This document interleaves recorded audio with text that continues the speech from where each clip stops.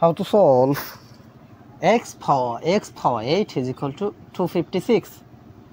Find the value of x. So we have x power x power 8 is equal to 256 can be written as 16 square.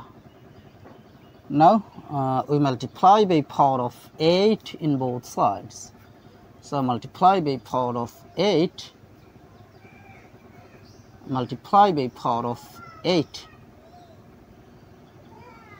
Now uh, here you can apply this exponential rule that a power m bracket power n is equal to a power n bracket power m. So according to this rule I can compare here so it will be x power 8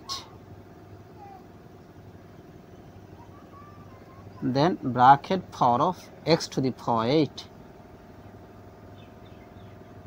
then is equal to 16 power of 2 times 8 that means it will be 16 now uh, we see x power 8 x power 8 both term is same. This base and this power is same so let x power 8 is substituted by t.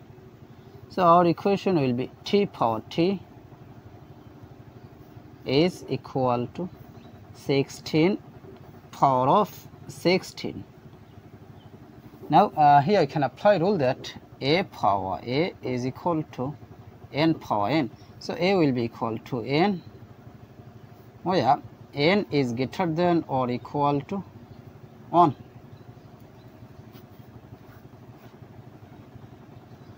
so according to this rule uh, we can compare here. T will be equal to 16 now uh, remember that t that means x power 8 so t that means it will be x power 8 is equal to 16 now we need the value of x, so we multiply by power of 1 by 8 in both sides. So multiply by power of 1 by 8, multiply by power of 1 by 8. Now we see this 8, this 8 will be cancelled. So x power 1 is same as x is equal to plus or minus 16 power of 1 by 8 can be written as 8th root of 16. So plus or minus 8th root of 16 uh, this is the value of x so this is our final. How to solve x power x is equal to 4 power of 32. Find the value of x.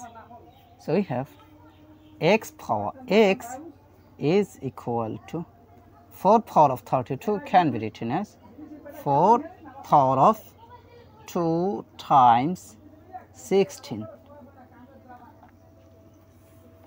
Now x power x is equal to uh, here you can apply rule that a power of m times n is equal to a power m bracket power n.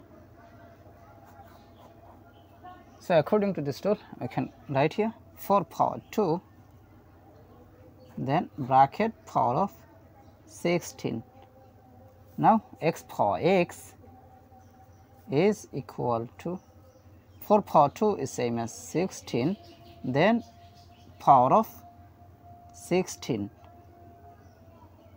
now uh, I can write here x will be equal to 16 so 16 this is the value of x so this is our final answer